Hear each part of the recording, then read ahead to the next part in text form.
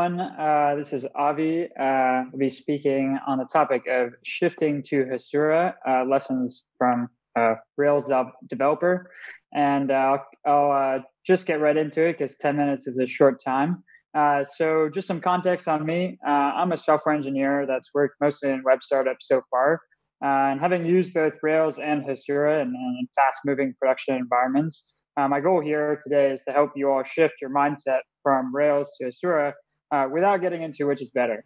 Um, so we'll highlight uh, some major architectural differences uh, and map some shared concepts. And hopefully at the end of it, you'll have uh, less surprises and more confidence as you get started with Hasura. All right, let's get into it. So uh, I'm going to go over a couple different what I call shifts, and the first one is is I would say the most important, uh, going from uh, the Rails monolithic MVC architecture to Hasura's event-driven sort of service-oriented architecture. So Rails covers uh, and seemingly always will more web development surface area than Hasura, and, and not just because it has a, a 13 years head start. Uh, it sort of prides itself in the monolith. You know, everything from routing a request to fetching the data for that request uh, and displaying that data in a user-friendly way, uh, serving up the page and everything else. Uh, Hasura, on the other hand, uh, is, a backend as a service, and and it, it, will cover sort of the common and exhaustingly sort of boring ORM and API server requirements, but you know, bring your own friends, event handlers, and authentication table. Uh, it'll come prepackaged with, you know, in a similar value integrated systems sort of way, uh, with a programmable permissions framework, uh, subscriptions, and then most recently scheduled triggers alongside uh, triggers. Now, I kind of anticipate Hasura will quickly eat more of these common backend concerns and abstractions, um, anything from inbound, outbound email, uh, database choice, and the management of the database for replicas and partitions. It's only two years old. Um, and and while has, uh, Rails has sort of this you know equivalent abstractions to say uh, subscriptions or or triggers like action cable and active job, be it with you know Sidekiq or Resque or, or whatever. Uh, that I would argue that these capabilities they integrate well with Rails, but are not native to its architecture. And this is a result of a sort of fundamental difference in the architecture uh, of the data flow between Rails and Hasura. And I think that's worth taking a closer look at. So let's first take a look at Rails. Uh, in sort of model view controller fashion, a controller receives RESTful requests from the outside world uh, via router, uh, interacts with the model to update the application state, and prepares the appropriate view to the user. Uh, side effects are sometimes handled inline. Uh, at other times, they're pushed to job queues. Um, and you know to notify the client of some of these changes versus pulling for them. You might have a pub sub uh, via action cable that runs sort of side by side to the regular request response mechanism. Uh, so another thing to note is the web workers, the job workers, and the pub sub workers all run from the same shared code base. Now we can sort of compare that to Hasura. Oops, compare that to Hasura, uh, which uh, you can see the request and the response cycle and the PubSub uh, share the same sort of uh, specifically GraphQL API interface and infrastructure. And all the side effects are persisted as events to be processed asynchronously. And to process those events, webhooks, and other custom sort of business logic that you have, you're going to need some services outside of Hasura to do that, which kind of lends itself to this sort of service-oriented architecture. And PubSub and eventing in general is is brought to the forefront uh, to make uh, an event driven architecture. Uh, and a sort of a useful way of looking at this difference is uh, from a functional programming perspective. Uh, kind of, this is a, a, screenshot from one of my favorite talks by Martin Kleppmann.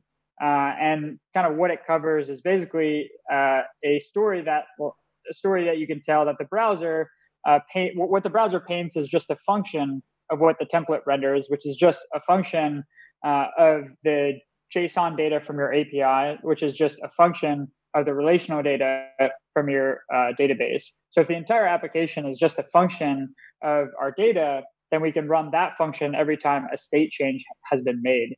And so that and that sort of mindset actually is very incorporated into the core of Hasura.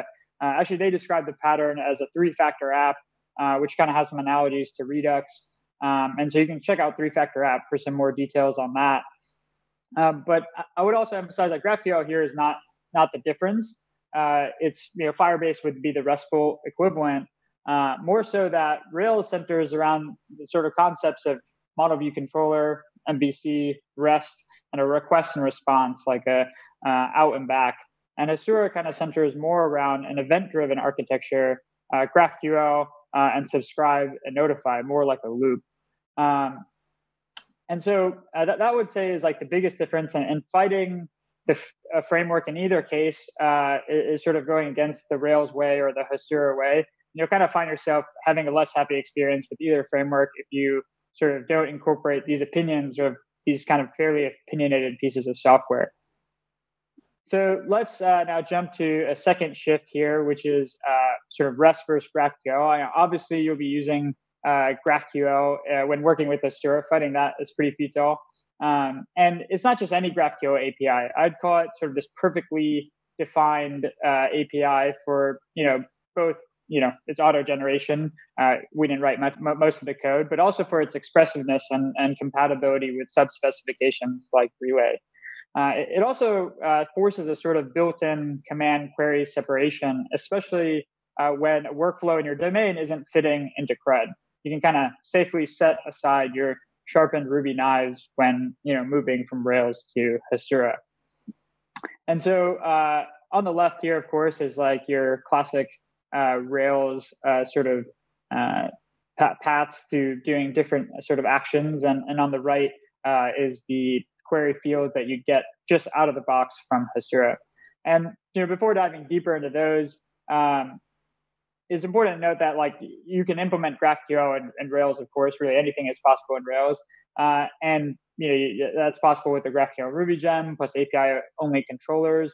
It's just not at the forefront of the Rails way right? REST and sort of CRUD is. And, and that this is just a screenshot pulled from, you know, their getting started guides, of course. Uh, and instead of discussing further into how I would map, you know, the left side here into the right side, I think there's plenty of coverage on how to shift your mindset from REST to GraphQL or CRUD or, you know, REST-based CRUD to uh, GraphQL. Uh, I wanted to sort of talk about two general points that relate to how applications talk to the database in the web world. And and one of those, uh, of course, is authentication. It's like a super important part of how clients make requests to servers. And in Rails, you have Action Dispatch, uh, Session, or the sort of loved, hated uh, Devise gem uh, when working with Rails. Uh, but in Hasura, um, Del, uh, like in Hasura, authentication is totally handled outside, and they have just built-in ways to plug into it. And those standard ways are webhooks and uh, JWTs or JSON Web Tokens. Uh, this is position is kind of generally in line with the trend of the vendorization of sort of authentication. And there's plenty of tutorials on Auth0, AuthGuardian, AWS Cognito, kind of any integration that you're looking for. Uh, the other bit is I, I, wanted to talk about is in Rails, if some flow isn't feeling restful or, or just, you know, you want to, you need to get around the convention, uh, it's really easy. You just you just write more code and, and it's pretty straightforward. But in Hasura, we, we didn't write the server. So how can we customize it? There are a couple options, but um, custom actions is your simplest escape hatch when pushing up against the limits of CRUD GraphQL API, uh, or you need to depend on sort of some some libraries or or some custom conditional logic. Some simple examples here would be sort of generating uh, and returning a JWT from an unauthenticated Hasura query field, right? So this is setting up your authentication endpoint or using the result of uh, one complex mutation to make another. And uh, it's not always perfect. Sometimes you have to work a, a little harder uh, when you don't have a server that you wrote yourself. And, and an example here is getting what, what's the current time on the server. And and this is not as straightforward. You have to create a view here uh, on your uh, in your Postgres database and uh, just get the now timestamp and, and return that as a view and expose that through the API. But it's all possible. And um, for the most part, uh, CRUD will get you so far along the way, especially in the GraphQL context and the expressive API that they've given you. The third shift that I wanted to uh, talk about was uh, sort of the ORM, which is an active record, uh, is one of the most important sort of parts of Rails. It's the M and the MVC. And regardless of whether you're rolling your own front end or using GraphQL, you'll definitely be generating migrations, building and querying models, or configuring validations uh, and callbacks.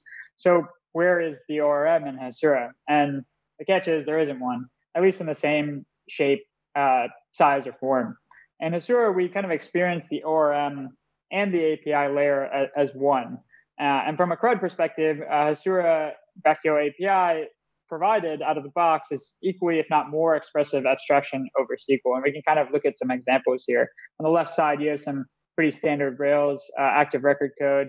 Uh, and on the right, sort of the mapping that you can get sort of find, find by, select, filters, joins, uh, nested where clauses that are doing much more complex joins that you could uh, sort of struggle to do with an active record uh, creator update or finder update or finder create um, update all all pretty out of the box given to you from Hasura. And so that covers CRUD. What about all the other good parts of Active Record? I think uh, there's some listed here, which I won't get into all of them, but migrations, for example, largely ex- inspired, I think, by Rails on the Hasura side, uh, is supported out of the box. And instead of using a CLI and a DSL that's like borderline ergonomic, uh, instead, you get a user-friendly UI, and you can kind of generate all the uh, up and down migrations as you need. Um, the other bit is around, um, say, scripting. Let, us pick that as an example, uh, just from the list here. And it's probably what I'll miss the most from Rails uh, and really Ruby. Uh, and while GraphiQL, like the the interface where you can kind of type queries and, and test out uh, and edit one-off queries in from the Hasura UI, you know, the ability to like just jump into a Rails console. It's something I always have open while developing in Rails. And to kind of like, you know, get around this, I think there's two kind of, at least one saving grace is that uh, the backfill scripts or seed scripts in Hasura all communicate over HTTP API. So at least there's only one system that you have to learn versus learning, you know, the API or and the ORM at the same time. Uh, and and the other saving grace as a complement to that is Hasura is super fast, so you wouldn't have to really worry about performance here. In general, I think regarding the ORM and, the approach that Rails and sort of Hasura takes, I wanted to sort of highlight this is a key, I think, like tendency difference between the two technologies, abstraction of the database. I think Rails, you'll see, tends to hide it from the user and protect you from it. And Hasura tends to say, no, dive in, and, and kind of exalts it to uh, sort of embrace the database. Actually, a lot of the features about how that powers Hasura is very database native features. The last shift uh, is uh, hardly a shift at all, and uh, it's talking about the pillars at the core of these technologies.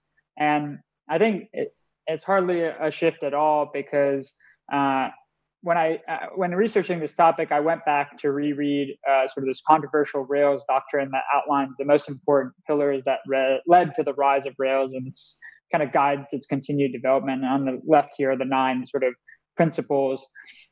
And I was surprised to find that Hasura shares like many of these foundational pillars. You know, everyone is uh, Hasura is built uh, to make it super easy to program and feel pretty good while programming in it, and uh, sort of increase the productivity of the developer.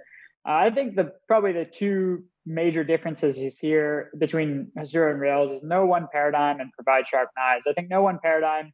Uh, I think Hasura pretty strongly is tied to GraphQL and an event-driven microservices approach. Uh, it's also a backend as a service versus a spanning sort of web development framework. Um, and uh, I think the other one is that I think differs a little bit is providing sharp knives. And I think Hasura, you know, instead pushes this codeless pre-cut approach with auto generation. Um, and, you know, custom actions here is a counter example, but it focuses on the common and the plumbing, the same basic toolbox, leaving you to the rest, uh, either with a built-in escape hatch or just complete freedom.